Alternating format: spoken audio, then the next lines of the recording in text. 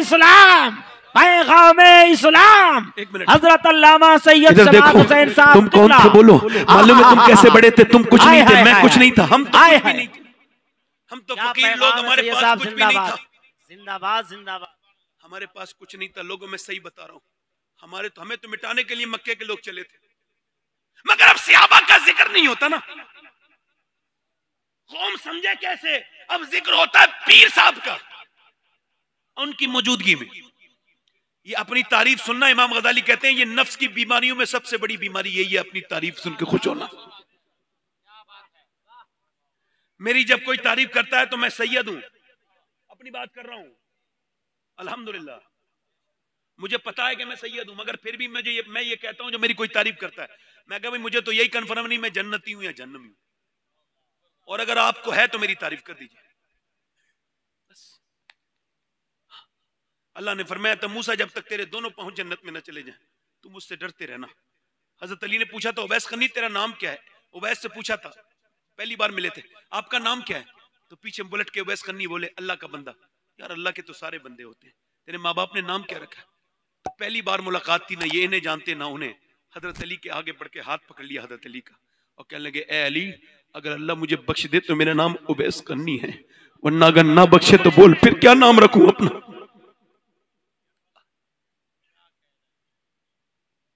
क्या कुरान सच नहीं है? क्या जहन्नम सच नहीं है? क्या जन्नत सच नहीं है? क्या अल्लाह सच नहीं है? अगर है तो हम क्यों नहीं डरते? बस ये पूछ रहा हूँ। तुम्हें किसने कहा है कि ना डरो? बोलो, कुरान तो कहता है डरो। अल्लाह कहता है, जो डरते हैं वही आलिम है। और आलिम ही डरते हैं। अब जो ना डरे वो कोई भी हो सकता है, मगर आलिम नहीं है।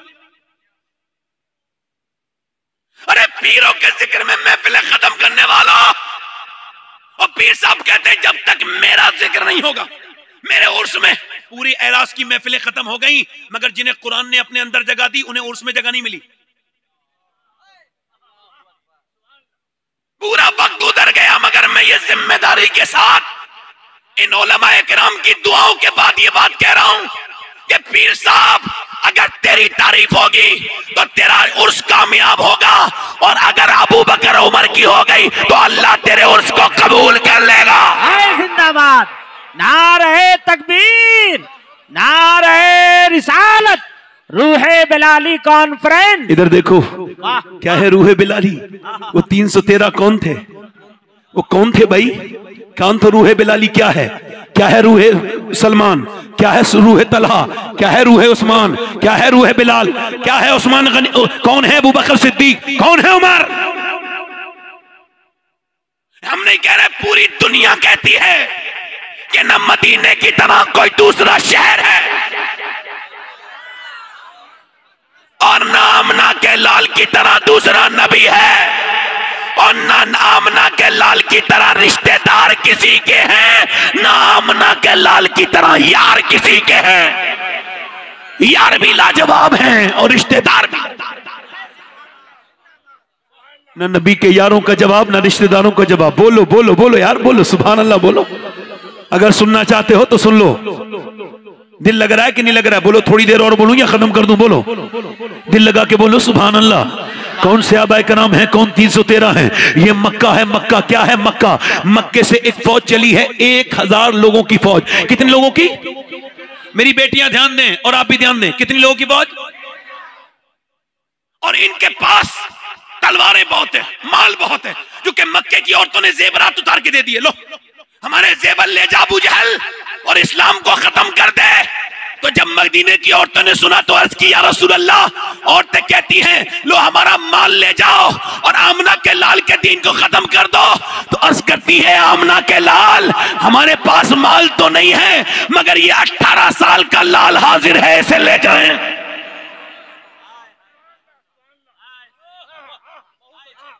मदीने की औरतें लाजवाब है कि सिहाबियात लाजवाब है कि नहीं है? इधर देखो, वो 313 का लश्कर अल्लाह के रसूल सल्लल्लाहु अलैहि वसल्लम ने फरमाया कि उधर अबू जहल इतना ओवर कॉन्फिडेंस में था, कहता था, मैं इस रस्सी में बाँध के लाऊँगा नबी को और दीन को आज ही खत्म कर दूँगा, बिल्कुल खत्म कर दूँगा। हमारे पास फौज है, ताकत है, उनके पास क्या है? जब वो चले उधर से मक्के से तो मेरे नबी ने इधर अपने गुलामों से कहा, देखो, मैंने मक्का छोड़ के मदीने आ गया, हिजरत करके। अब वो मदीने पे हमला करने वाले हैं, तुम में से कौन है जो मेरे साथ चलेगा? 313 आके तैयार हो गए, पेट पीठ से लगे हुए पेट पीठ से लगे हुए। अल्लाह के रसूल के सियाबी। ए भैया, कहाँ जा रहे हो? भैया, कहाँ जा रहे हो चचा? अच्छा ठीक है। मैं कयामत तक यहीं हूँ, आइए आराम से। हाँ। अगर भाई देखो, उठने का प्लान हो तो मैं तकरीर कर चुका, थोड़ी देर और करूँ। हैं? उठने का प्लान तो नहीं है। तो जो है कि नहीं? तीन सौ तेरह अंसारो मुहाजरीन। साबिकून। हाजिर खिदमत। पेट बिल्कुल पीठ से लगा हुआ, कपड़े फटे हुए। मैले कुचैले कपड़ों के बाद अब बाहर को निकले। मेरे नबी ने फरमाया, अरे चलोगे, सियाबा? का हुजूर बिल्कुल चलेंगे। पर मैं सोच लिया, तुम्हारे पास दो दो घोड़े हैं, उनके पास सौ घोड़े हैं, तुम्हारे पास सात तलवारें हैं, उनके पास हज़ार तलवारें हैं। बोलो, चलोगे? एक जबान हो के अर्ज़ करते या रसूल अल्लाह कोई मूसा की उम्मत थोड़ी है जो भाग जाएगी? उम्मत मुस्तफ़ा की है, जान दे देंगे।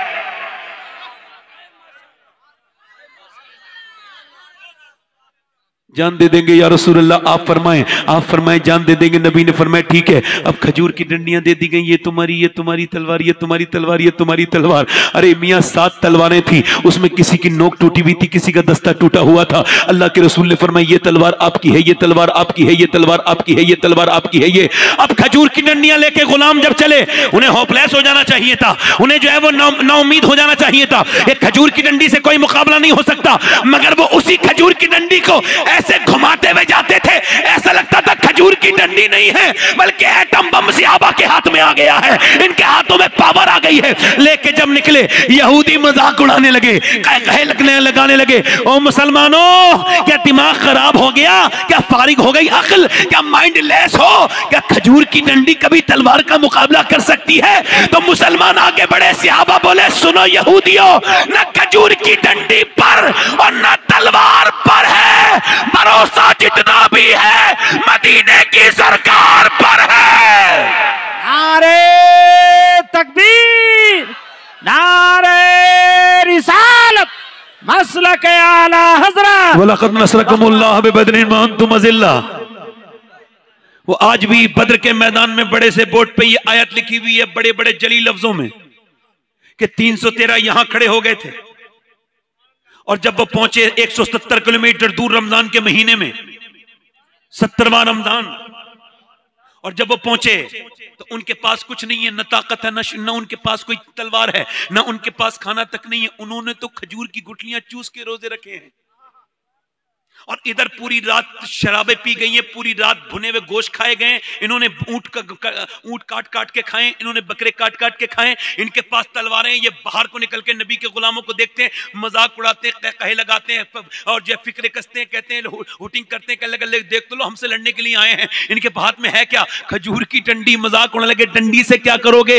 हाथ हिला के मज़ाक उड़ाते, इन्हें मच्छर और मक्खी की तरह मसलेंगे मुसलमानों को। ये जब एक हज़ार लोग ये बात कहते थे, मेरे नबी ने आज पूरी रात के लिए सर सजदे में रख दिया है। ये जहाँ मस्जिद अरीश है, वहाँ तपती भी रेत पर। मेरे नबी ने अपना सर सजदे में रख दिया, यही ताकत थी मुसलमानों तुम्हारी। मेरे नबी ने अपना सर सब सजदे में रखा। हज़रत अबू बकर सिद्दीक कहते हैं, जितना हमने उस दिन हुजूर को रोते हुए देखा, उतना कभी नहीं देखा। हुजूर जब रोते थे तो चादर हुजूर की सर से कांधे पे आती थी और कांधे से पे नीचे गिर जाती थी। मैं उठा के चादर रखता था। मेरा इमाम कहता है, आँखें रो रो के सुजाने वाले, जाने वाले नहीं आने वाले। आँखें कुछ कहती हैं, तुझसे पैगाम। वो दरे बड़े यार के जाने वाले, उसने तेरा सा ना देखा, ना सुना। कहते हैं, अगले जमाने वाले, कैसे मेरे नबी पाक के वो गुलाम थे? और ऐसे मेरे नबी पाक ने सर सज्जे में रखा है। अर्ज़ करते हैं, मेरे मालिक मेरे मालिक, मेरे परवरदिगार, और जब हुजूर ये अर्ज़ कर रहे हैं, हुजूर की जो आँखें हैं ना, उनमें से आँसू गिरते हैं। वो कौन सी आँखें? इतने आँसू गिरते हैं कि रेत भीगने लगी। मेरा इमाम कहता है, कौन सी आँखें? जिस तरफ़ उठ गई, दम में दम आ गया। उस निगाह इनायत पे लाखों सलाम। हुजूर के लब हिल रहे हैं। कौन से लब? पतली पतली गुले कुस की पत्तियाँ, उन लबों की नजाकत पे लाखों सलाम। वो दहन जिसकी हर बात वही है खुदा, वो पैगंबर इस्लाम जिसकी बातों की तरह कोई बात नहीं कर सकता। आज सज्जे में सर रखा हुआ है। मेरा इमाम कहता है, मैं, उसने यूसुफ पे कटी मिस्र में अंगुश्ते जनान। सर कटाते हैं तेरे नाम पे मर्दान अरब। ये 313 मर्दान अरब खड़े हैं। और मेरे नबी ने आज जब अपने रब की बारगाह में अर्ज़ की है, आज की तरह मेरे नबी ने जब बयान करना शुरू किया, कभी मेरे नबी ऐसे नहीं रोए। अर्ज़ करते हैं, मेरे मालिक देख, मैंने जो पूरे मक्के में तकलीफ़ उठाई, मैंने जो तेरह साल में तकलीफ़ उठाई है मक्के के अंदर, जो मेरे ऊपर ऊँट की ओजड़ियाँ रखी गई, जो मेरे ऊपर ऊँट की ओजड़ी भारी भारी रखी गई, और जो मेरे सर को फड़ा गया, और जो मेरी गर्दन को दबाया गया, और जो मेरे रास्ते में पत्थर मारे गए, और जो मंडियों में मुझे गालियाँ दी गई, और जो मेरे घर पे पत्थर मारे गए, और जो शेबे अभी तालिम में मेरे घर की औरतें नौ नौ दिन तक भूखी रही, और उन्होंने पेड़ के पत्ते खाए। ऐ मेरे मालिक, मैंने जो शेब मैंने जो ताइफ के मैदान में पत्थर बर्दाश्त किए, आपको पता है ताइफ क्या है? अगर तुम्हें तुम्हारे बाप का दर्द बयान करूँ तो तुम्हारा दिल बड़ा मचल जाएगा। मगर मैं हुजूर की बात बयान कर रहा हूँ। हुजूर मक्के से ताइफ गए। मेरे सरकार के इतने पत्थर मारे गए, इतने के एक पाँव उठाते थे, दूसरे पे मारते थे। दूसरा पाँव उठाते थे, पहले पे मारते थे। हुजूर बैठ जाते थे तो उठा के मारते थे। पिंडली शरीफ फट गई। अल्लाह के रसूल की आज अर्ज़ करते मेरे मालिक जो ताइफ के मैदान में मेरे पत्थर मारे गए। मेरे मालिक जो मुझे, मेरे ऊपर ऊँट की ओजड़ी रखी गई, वो सब करके मैंने ये 313 तिनका तिनका जोड़ के जमा किए हैं। ये मेरा अबू बकर मेरी पूरी ज़िंदगी की कमाई है। ये मेरा उमर मेरी पूरी ज़िंदगी की कमाई है। ये मेरा अली मेरी पूरी ज़िंदगी की कमाई है। ये मेरे अमीर हमजा मेरी पूरी ज़िंदगी की कमाई है। ये मेरा बिलाल मेरी पूरी ज़िंदगी कमाई है। अल्लाह, अगर मेरी ये आज सियाबा की जमात खत्म हो गई तो कयामत तक तेरा कोई नाम लेवा नहीं होगा, तेरा कोई नाम लेवा नहीं होगा। फिर अर्ज़ करते हैं, देख तो मालिक, मेरे गुलामों को ये कैसे तेरे नाम पे आए? तलवारें तक नहीं है इनके हाथ में। इन्होंने खाने तक नहीं खाए, पेट इनके पीठ से लगे हुए हैं। खजूरे चूस चूस के रोज़े रखे हैं मेरे गुलामों ने। इन पे मेरे गुलामों पर रहम कर। मेरे नबी जब रोए तो मेरा इमाम कहता है, इजाबत का सेहरा, इनायत का जोड़ा, दुल्हन बन के निकली, दुआए मोहम्मद हुजूर रोए हैं। अल्लाह के रसूल एकदम हुजूर ने सर उठाया। हुजूर मुस्कुराए। हज़रत अली कहते, अचानक हवा चली और रेत उड़ी। मैंने अर्ज़ की, हुजूर, ये क्या है? कहा, सुनो अबू बकर वाली, अल्लाह ने जिब्राइल को भेजा है और 500 फरिश्तों को लेके जिब्राइल ज़मीन पे उतर चुका है। फिर फरमाया, फिर मेरे आका ने, हज़रत अली कहते, फिर मैंने अर्ज़ की, हुजूर, अचानक हवा चली। हुजूर, ये कैसी हवा है? पर मैं उस तरफ़, अल्लाह ने मीकाइल को उतारा है और वो 500 फरिश्ते लेके मेरा दूसरा वज़ीर उतरा है। हुजूर ने फरमाया, चलो, मुसलमानों, चलो, अल्लाह के नाम पे शुरू हो जाओ। अब तलवार जब उठी है, अब जब डंडियाँ उठी है तो उधर तो ना, उधर जो है वो, उधर अपनी शमशीर वाले हैं और उधर नारे तकबीर वाले हैं। उधर ताकत पे भरोसा है, उधर मुस्तफ़ा की मोहब्बत पे भरोसा है, उधर अपने माल पे नाज है। इधर आमना के लाल पे नाज है। चल दिए। चलते चलते गुलामों ने खजूर की डंडियाँ उठाई। वो खजूर की डंडियाँ जिनकी मज़ाक उड़ रही थी, वो खजूर की डंडियाँ जिन्हें कोई अब खातिर में नहीं लाता था, उन खजूर की डंडियों ने तो कमाल ही कर दिया। उठती थी खजूर की डंडी थी, काटती थी सर, उठती थी खजूर की डंडी, काटती थी हाथ, काटते काटते काटते काटते, जब गिर गिर कट कट के गिरने लगे कुफार में भगदड़ मच गई, उनके पिट्टे पानी हो गए, वो बिल्कुल छोड़ के मैदान भागने लगे। जब वो भागे तो बिलाल ने देख लिया। बिलाल ने किसको देखा? बिलाल ने उमैया को देखा। उमैया कौन? उमैया जो बिलाल के सीने पे पत्थर रखता था जो बिलाल के सीने पे पत्थर रखता था जो बिलाल को अंगारों पे डालता था जो बिलाल के मुँह पे मुक्के मारता था जो बिलाल की गर्दन में रस्सी डाल के मक्के में घसीटता था, वही उमैया दौड़ रहा था। बिलाल जलाल में आ जाता है। जाके बिलाल उसके पीछे दौड़े। वो मोटा आगे दौड़ा, मगर कब तक दौड़ता? बिलाल ने उसके मुँह पे घूसा मारा। वो ज़मीन पे गिर गया। बिलाल को देखने लगा। लगा बिलाल ने कहा मैं देखता क्या है उमैया ये बिलाल का घूसा नहीं है। ये तो इस्लाम का घूसा। कुफर के मुँह पे लगा है।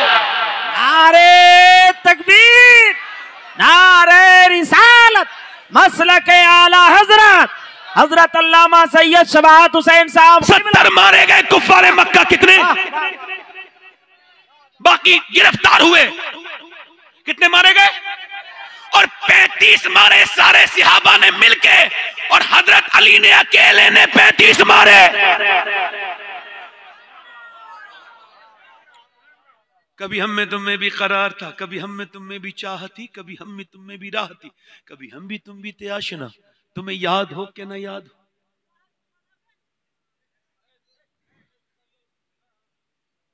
तो जो है कि इधर देखो?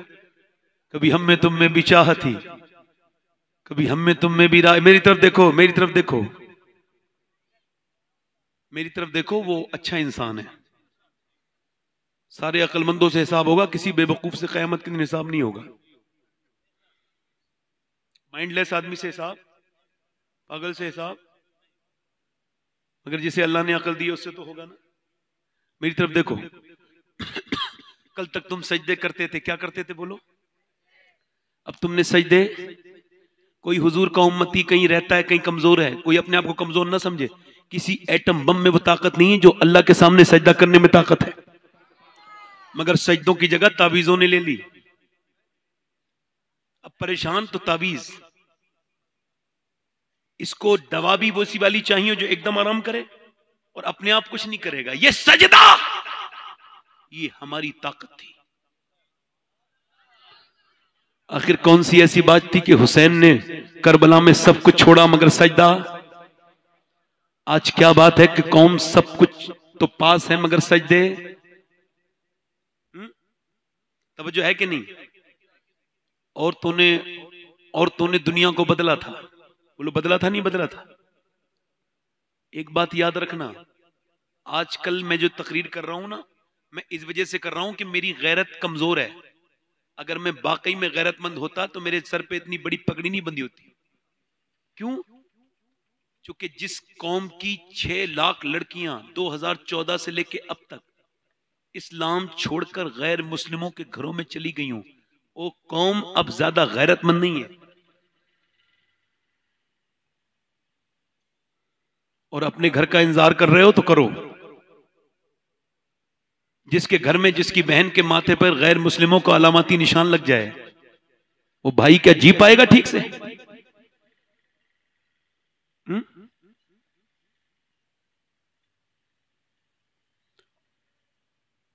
औरतों को पर्दा किसने नहीं कराया? बच्ची नाच रही है, मुझे बताओ जिस बच्ची को पाँच साल की उम्र में सजदा करना सिखा दिया जाए, क्या कभी कोई उसका ईमान खराब कर सकता है? जल्दी बोलो जल्दी बोलो। ईमान खराब कर सकता है कभी? छह साल की बच्ची है, मदीना है। और मदीने में वो बच्ची कुरान पढ़ रही है। क्या पढ़ रही है बोलो? कुरान पढ़ते पढ़ते उसके सर से दुपट्टा नीचे आया। तवज्जो करना। से दुपट्टा नीचे आया है। उसकी माँ ने दुपट्टा रख दिया। और सुनो ना, बेटी के नाम का जवाब है ना माँ के नाम का जवाब है। बेटी का नाम सैयदा जैनब है और माँ का नाम सैयदा फातिमा है। यानी छह साल की बच्ची पर अगर शुरुआत से आप ये करेंगे ना, ऐसे करके इसका मैं रिज़ल्ट रिज़ल्ट बता रहा हूँ। सर पे दुपट्टा रख दिया पाँच साल की बच्ची के। अब वो पाँच साल की बच्ची नाच रही है, तुम उसे स्टेटस पे लगा रहे हो। देखो मेरी बेटी नाचना शुरू हो गई। अबे तेरे घर की गैरत खत्म। चाहे वो किसी का भी घर हो, मेरा ही घर क्यों ना हो? कोई हो सब दीन के पाबंद हैं और दीन किसी का पाबंद नहीं।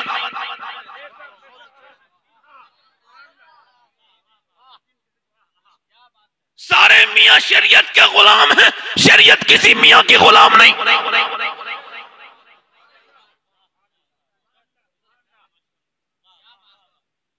शरीयत से ऊपर कुछ है नहीं। और जो ये कहे शरीयत और है, और हम और हैं तो कह दो इस्लाम और है और तू कुछ और है।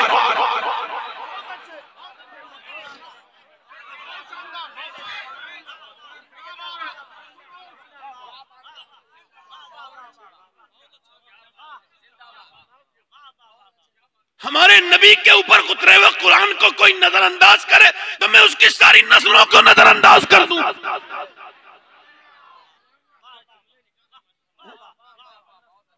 तवज्जो है कि नहीं? और कुरान एक एक लफ्ज मेरे रब का। एक एक हर्फ सच्चा। पूरा का पूरा कुरान अल्लाह का। और गैर मुस्लिम भी कहते हैं कि अगर कोई ऐसी किताब है जिसमें आज तक कोई रद्दो बदल ना हुआ तो वो सिर्फ़ कुरान है और कुछ नहीं।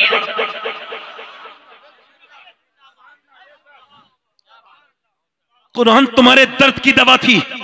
तुमने तावीजों को दर्द की दवा बना ली। तावीज पर तुम क्या लगा रहे हो? उस पर मोम जामा लगा रहे हो, उस पर कपड़ा लपेट रहे हो और कुरान पर गर्द जम रही है, धूल जम रही है। करो, हमारा क्या मतलब है? और हम, मैं, कोई मतलब नहीं। हम तो अपनी इसलाह करने के लिए तकरीर करते हैं। हमें कभी मत, नहीं सोचा कि पब्लिक की हो जाए। हम तो अपने लिए करते हैं। हमारे ऊपर हमारी बातों का असर हो जाए, बस। मैं खुद सुधर जाऊँ, ठीक है भाई। एक आदमी तो सुधर जाना चाहिए जो तकरीर कर रहा है वही। बस वो। उसको ज़रूरत है पहले उस इल्म की जो दूसरों को बयान कर रहा है। नबी की बेटी ने सर पे दुपट्टा। बोलो तो सही तरह बोलो तो सही। सैयदा जैनब ने सर उठा के कहा अम्मी जाना अपने सर पे दुपट्टा क्यों रखा? कर नाना नाराज़ हो जाते हैं। जैनब अली की बेटी हसास बाप की हसास बेटी सेंसिटिव बाप की सेंसिटिव औलाद बोली, रोने लगी और सैयदा जैनब के पास नहीं सैयदा फातिमा। जैनब, बेटी, चुप जाना, क्यों रोती है? अब तो सर पे दुपट्टा है। कल चुपट गई, कह लगी, अम्मी जान, नाना से कह देना, इस बारी माफ़ कर दे। अगली बार जैनब गर्दन कटाएगी, मगर सर पे से दुपट्टा ना हटाएगी।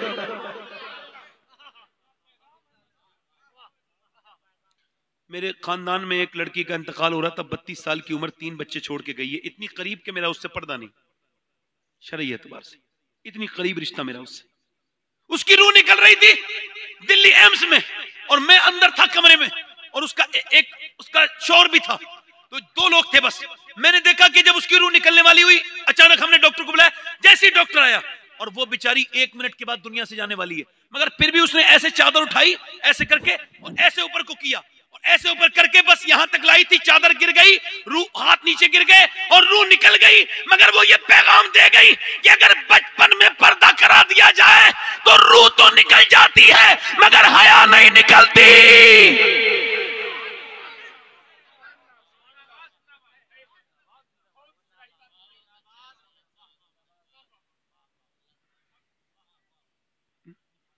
एक दिन अल्लाह के रसूल की बेटी सैयदा तैयबा ताहिरा आबिदा जाहिदा, इकबाल कहता है, मरियम अज यक नस्बत ईसा अज़ीज़ असै नस्बत हज़रत जहरा अज़ीज़। वो कहता है, इकबाल, मरियम इस वजह से बुलंद है कि एक ईसा की माँ है।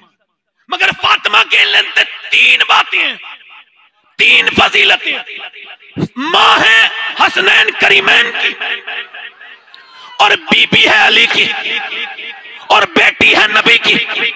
मगर सुनो जब मेरा इमाम बोला अगर इकबाल ये शेर सुन लेता तो मेरे बरेली के इमाम के हाथ चूम लेता कि ऐसा भी कोई शेर कह सकता है? इकबाल कहता है मरियम इस वजह से बुलंद है कि वो वो हुसैन की माँ है हसन की माँ है अली वो, वो मरियम इस वजह से बुलंद है कि वो ईसा की माँ है मगर फातिमा को देखो वो हुसैन की माँ हुसैन की माँ है अली की बीबी है और नबी की बेटी है। मगर जब मेरा इमाम बढ़ा तो जहाँ मेरा इमाम गया एक तो कोई वहाँ जा ना सका और अगर गया तो वापस आ ना सका। मेरा इमाम कहता है नूर बिनते नूर सोचे नूर उम्मे नूर और नूर रोते मुतलक की कनीज अल्लाह रे लहना नूर का। कहते हैं मेरा इमाम कहता है सैयदा वो है जो नूर की माँ है और नूर की बीबी है और नूर की बेटी है खुद भी नूर है। तेरी नस्ल पाक में है अच्छा। बच्चा बच्चा नूर का और तू है नूर तेरा सब घराना नूर।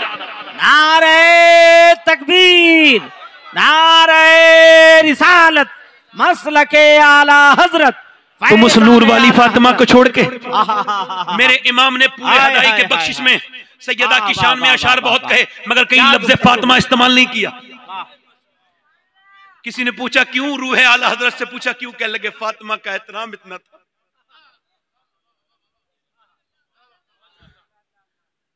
ऐसा एहतराम। आज उस नूर वाली फातिमा को छोड़ के और बंबई वाली औरतों की तरह कपड़े उनकी तरह लिबास। और मैं उन दयूस लोगों से पूछता हूँ, दयूस वो है? दयूत का उर्दू तर्जमा ये हो सकता है, बेगैरत। बेगैरत वो है जिसकी बहन बेटी बेपर्दा चले। इधर देखो। जब शादी में कसे कसाए कपड़ों के साथ, अपनी बहन के साथ एंट्री मारता है, अपनी बीबी के साथ, और जब उस पर बेटर की बुरी नज़र पड़ती है, और जब शादी वाले लोगों की बुरी नज़र पड़ती है, उसमें लफंगे, बेकार लड़कों की तो उस वक्त में गैरत को क्या हो जाता है भाई? कहा चली जाती है? बताऊँ कहा चली जाती है गैरत? मैं बता रहा हूँ। ये किसी और को देख रहा हो रहा हो रहा, कोई, ये किसी और को देख रहा होता है, और कोई इसी और को देख रहा हो। मैं उधर गया किशनगंज वगैरह के इलाके में तो औरतें वो मेकअप करके जलसों में आती है। मैं रो दिया देख के। सादा इंसान, मुझे क्या पता ये क्या इधर देखो, नबी की बेटी आ रही है। तवज्जो है कि नहीं? दिल लग रहा है, नहीं लग रहा? है और बोलूँगा, खत्म कर दू, बोलो।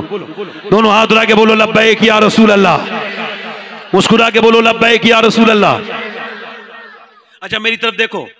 अभी कुछ दिनों पहले रिसर्च हुआ। रिसर्च ये हुआ कि कौन से ऐसे बच्चे हैं जो पागल पैदा होते हैं। हॉवर्ड ने रिसर्च किया है। दुनिया की बड़ी यूनिवर्सिटी है, दूसरे नंबर की हॉवर्ड ऑक्सफोर्ड के बाद तो वो हॉवर्ड कहते हैं, वो हॉवर्ड वाले कहते हैं, हमने 25 साल रिसर्च किया, ये वो बच्चे होते हैं जो पैदा होते ही पागल हो जाते हैं, पैदा पागल ही होते हैं। ये वो होते हैं मेंटली डिस्टर्ब बच्चे। जब ये पेट में थे तो इनके बाप ने इनकी माँ को मारा। यानी इस जालिम ये ने प्रेग्नेंट मूवमेंट में बीबी को नहीं छोड़ा, मारा। और जब मारा तो उसके बच्चे के पेट पे, पेट के अंदर बच्चे पे असर हो गया। अब ये समझ रहा था कि मैं अपनी बच्चे को बीबी को मार रहा हूँ। अब बच्चा हो गया पागल। अब दिखा, कलकत्ता दिखा, रांची दिखा, अब कहीं दिखा, दिखाता तेरी मर्ज़ी है। तूने अपनी बीबी पे जुल्म क्यों किया था जाहिल? तुझे पता है नबी ने मना किया, मानने को तो क्यों मारता है औरत को? अब इसने मारा। अब सुनो, मुझे बताओ, आप जब औरत प्रेगनेंट वुमेन में डॉक्टर के पास जाती है तो वो कहता है, अगर तुम ये चाहती हो कि तुम्हारा बच्चा ज़्यादा आयरन बढ़े और बादाम खाओ, आप ज़्यादा जो है वो सेब खाओगी, आयरन बढ़ेगा। अगर विटामिन डी बढ़ाना चाहती हो तो आप ऐसा करें कि अमरूद खाएँ, अनार खाएँ, ये सब खाएँ। अगर खाएँगी तो बच्चा बढ़े, बच्चे के अंदर ताकत पैदा होगा, ताकत आएगी। मुझे बताओ, अल्लाह का बनाया हुआ सेब, संतरा, अनार, अमरूद, अगर माँ खाए तो बच्चे पे असर हो जाए तो क्या अल्लाह का कुरान माँ पढ़ेगी तो बच्चे पे असर नहीं होगा?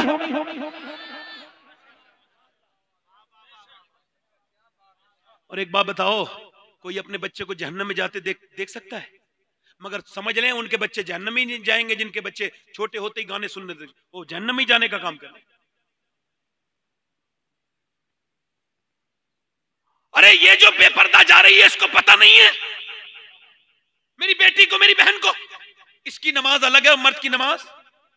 ये मर्द की नमाज़ अल्लाह यहाँ पे लात आया तकबीर कही, यहाँ पे ला और मर्द की औरत की नमाज़? अल्लाह। मर्द, अल्लाह समझना जरा? मर्द, अल्लाह। औरत, अल्लाह।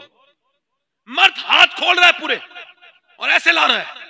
और ये अब अल्लाह ने क्यों अलग अलग कर दिया ये तरीका? इस वजह से तेरा रब जानता है मेरी बहन कि तेरे जिस्म की बनावट और है और मर्द के जिस्म की बनावट और है। तो उसने नमाज़ के तरीका तेरा और कर दिया, उसका और कर दिया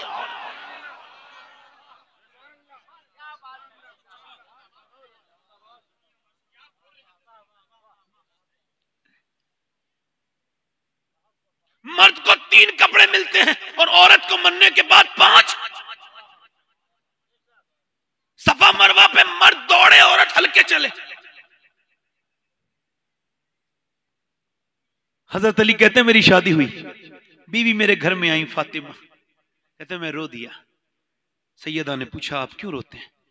मैंने कहा, फातिमा, हुजूर की तरबियत पर और आपके सबर पर दोनों पर रोना आ रहा है। क्या मतलब कि कितनी भी गरीब की शादी हो ना? तो वो एक दो जोड़ी कपड़े पहन लेती है, दुल्हन जब बनती है, हसरत होती है हर बेटी को।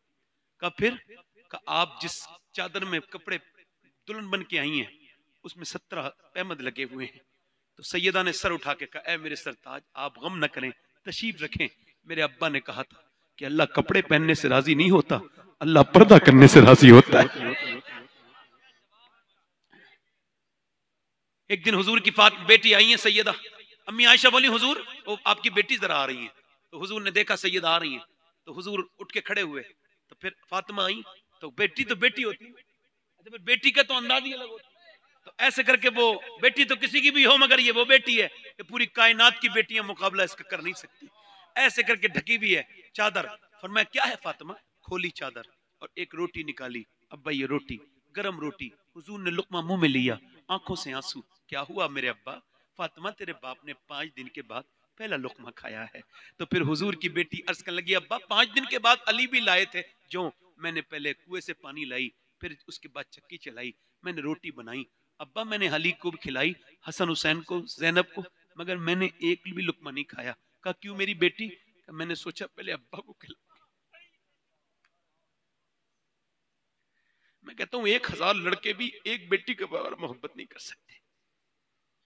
हमने बेटियों को मोहब्बत नहीं दी ना। हम कामों में लगे रहे। और हुजूर ने अपनी बेटी की हर जगह तरबियत की। हम समझ नहीं रहे मैं इस पे, इस मौजू पे क्यों बोल रहा हूँ?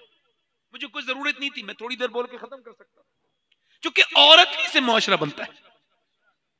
मैं किसी का बेटा हूँ, किसी का शौर हूँ, किसी का भाई हूँ।